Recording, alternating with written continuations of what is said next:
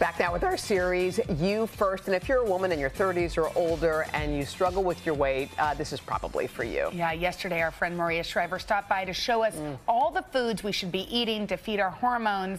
And you guys had a ton of questions. So Maria's back along with Dr. Sara Gottfried, who writes all about this topic in her new book, which a friend to me sent in the mail yesterday Women food and hormones.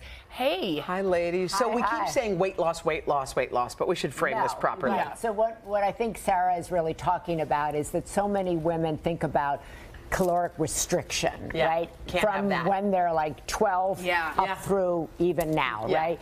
And what I think is so kind of revolutionary is you're talking about feed your body and feed your hormones the things it needs. Yeah. Don't be thinking about losing weight, thinking about feeling good right. and what's right for you, right? That's right. It's about metabolic health. It's not about diet culture. It's yeah. not about getting thinner. It's about being the right weight for, for metabolism. Yeah, yeah, for metabolism. All right, let's get. We have That's so many so questions. Smart. Okay, so let's get this first one. Okay, this is from Instagram. Yeah. And here it is. It says, "I am 50. Why am I always hungry even after a high protein meal?" That's a good question. Don't look at me.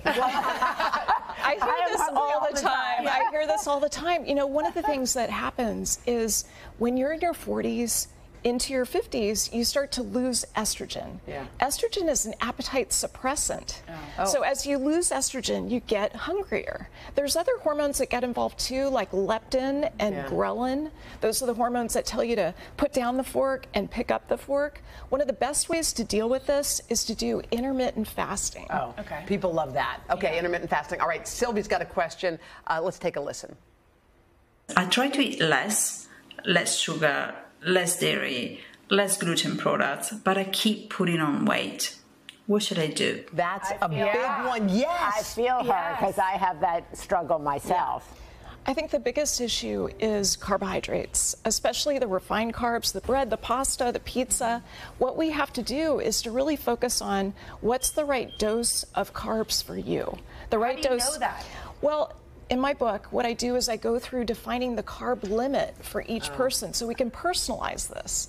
But what I suggest is that you reduce carbs, limit them to the non starchy vegetables do that for four weeks. Yeah. Then start to add back carbs and see how your body responds. One thing she was saying to me also is to read the labels, right? Because I eat a lot of crackers. Yeah. I'm a crunch yeah, person. I love a cracker. I love more than cracker. one. Yeah. I love mm-hmm. more too. than one cracker. Cheese. That's right. But you were the saying that there's good. certain crackers that actually are lower in carbohydrates than other crackers, and I was eating all the wrong crackers. Okay, well that so, would be good to put and, on our. And sometimes if you don't eat carbs for a while and you eat a sandwich the next day, I feel like your weight comes right back. exactly. On. It does. It does. So you get fluid accumulation when that happens. Yeah. And the point is to focus on net carbs. Right. So total carbs less fiber.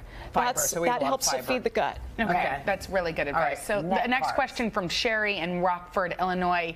Here's her question. She says, I drink one glass of red wine daily. Will that affect my hormonal balance so I cannot lose weight? I really would hate to give that up. One glass? Okay. One glass seems okay. So the bad news is after oh. 40, you really have a hard time metabolizing alcohol. So what does it do? It slows down fat burning for about 24 hours oh, by 70 percent. Is that all alcohol? Dang. Or yeah, just pretty much all no, alcohol. you've suggested that what? if people that there's some, one or two things that they can yeah, do. Yeah, what can we do? Well, okay, so there's a couple of things. One is you could swap out something fizzy and delicious, like I like CBD fizzy drinks. Oh, a mocktail? Okay. Like a mocktail, okay. low in carbs. Okay. The other thing you can do is you can limit to two servings a week. Make those two servings really delicious because that's what's associated with a lower risk of breast cancer. Mm-hmm. That's true. So twice a week okay. we can have one glass one of wine. Glass Pretty of wine. much. Well, I just blocked that out. All right, next up. Dione from Las Vegas. She wants to know this. For women who have had a hysterectomy, what foods are recommended for weight loss and to prevent hot flashes? This is good. Yeah. So, the main thing with hot flashes after a hysterectomy is to really focus on uh, getting intermittent fasting in place. So I recommend a 14 hour overnight fast. Okay. That helps with insulin. A lot of people don't realize that insulin, which is you know the thing that tells your body whether to store fat or to burn fat, insulin triggers hot flashes. So the more that you manage insulin with whole foods, lots of fiber, plenty of healthy fat, that helps you with hot flashes. And can you can you have coffee on the intermittent fasting? Because I kind of do that, but I have a coffee every morning. There's a debate about this. We think that if you have no calories, that doesn't count. But some of the research is done where al- where coffee actually counts as breaking the fast. Oh, oh, bummer. Oh, Jeez. that's Do we have any good Do you do intermittent fasting? I do do intermittent fasting, but I have though? coffee. Yeah. I have and, and do you feel good after you do that? After intermittent fasting? No, Not really. But I, I don't feel good unless I'm eating. But I think with this, what is also kind of groundbreaking is that we're even having this conversation Yeah. about eating for Yeah. hormonal health. There's been such a debate about women's hormones. What you know, should you take bioidentical hormones? Can you actually eat for your hormones? How do you keep yourself even? This Yeah. is a new frontier Yeah. in women's health, and not to be talking about just losing weight. That's right. It's like about health and feeling good. It Sounds great. So give up the booze and the coffee. coffee. All right. No, don't give up the coffee. no, Okay. you It's can't. for your brain health. That's oh, right. thank you. That's right. See, Maria, we need you.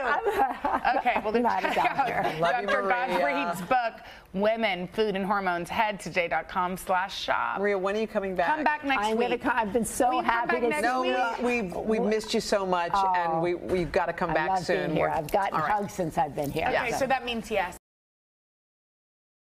Hey, thanks for watching our YouTube channel. Find your favorite recipes, celebrity interviews, uplifting stories, shop our favorite deals, and so much more with the Today app. Download it now.